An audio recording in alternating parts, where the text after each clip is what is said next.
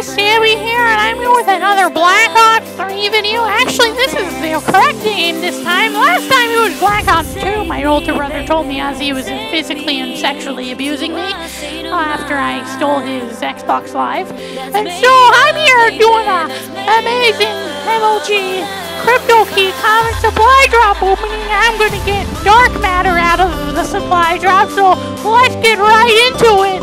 Oh baby, here we go.